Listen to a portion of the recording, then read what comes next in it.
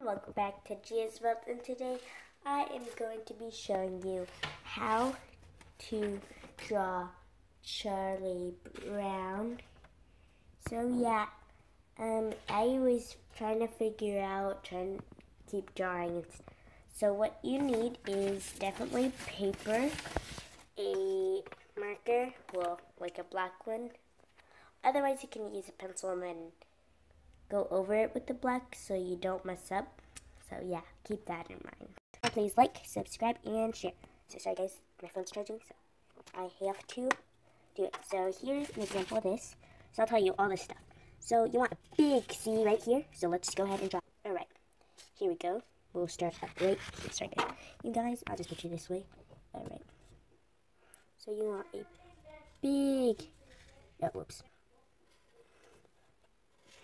So it's okay if you mess up on the C. I'm making this one smaller, so yeah. So like that, you don't want to connect all the way. Then you want to make another C right here. Sorry, I'm trying to look in real life. And then you want to make an opposite C on this side. Then you want to make a big U, but without the line. Then, then you want to do a C right here. And an O, but fill it in. And other side. Then you want that. And that. It looks creepy. But yeah, you also want to make like a cursive E, like that. Then you want 11, 11, and then a big, big, a big L. So then you want to go just like a shoulder, and here, up here, and you want to make his little hand. 11, 11, yeah, why did I say it two times? Then you want to make a W, but with three lumps. One, two, and three. Then for his, um, right here, for his shirt, you want to make a W, W, oops, sorry. And then, yeah, W, W, and then another W. And connect it to that. And then you want to color it in. Now you want to make an E, but like that. So I made an E, but then you want to make a skinnier E down here. Well, not an E, like a weird in, but upside down.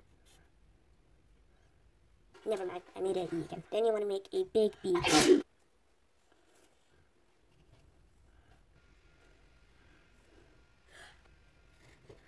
And his legs look weird. It's not as great as this one though. So let's color in high speed.